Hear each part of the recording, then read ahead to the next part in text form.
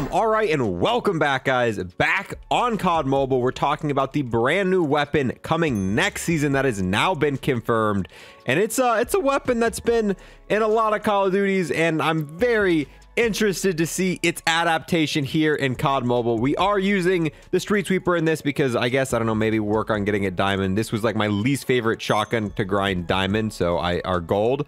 So here we are using this bad boy again. But they released promotional material, and it looks like the next shotgun or the next gun that's coming next season. Well, it's confirmed. It doesn't look like this is what's coming next season.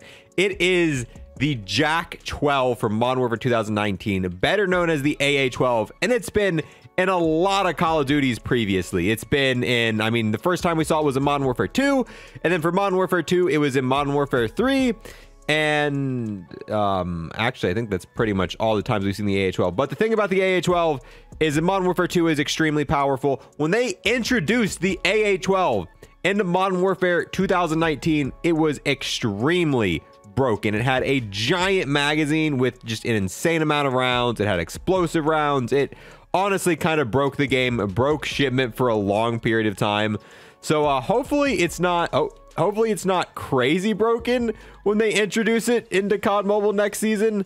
But uh, either way, you guys know we'll be unlocking it. We'll be getting it gold because we do unlock Damascus for every single camo in this game. And uh, I just, I hope it's not weak, like super weak, like some of the shotguns in this game.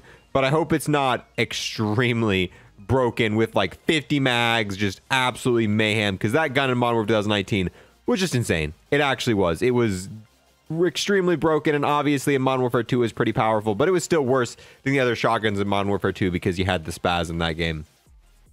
Uh, but I'm glad. I, it's one thing I love about COD Mobile. I'll say this every time. COD Mobile doesn't just add ARs and SMGs. You get new shotguns, you get new secondaries. Like, it is very diverse, and I would way rather have an AA-12 than another generic AR, another generic SMG. Like, oh, like the last season, the PPSH was pretty cool to get, but besides the PPSH, we got the uh, what what was it called? The, I can't remember the name. It was the the new AR. It's so basic, I already forgot it. It's uh, crap. It, um, do I have a class with it? I don't even remember. It's so basic, I forgot the name. But they added a new AR that we reviewed not too long ago, and it is super boring because it's one from Modern 2019, and it plays like all of the other ARs in the game.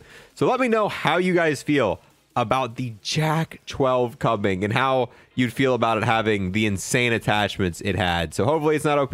We're going to grind at Damascus. And if you want to see that, make sure to sub to this channel. We're going to cover all the news with like lucky drops and stuff like that here in COD Mobile, uh, just, just like we are here.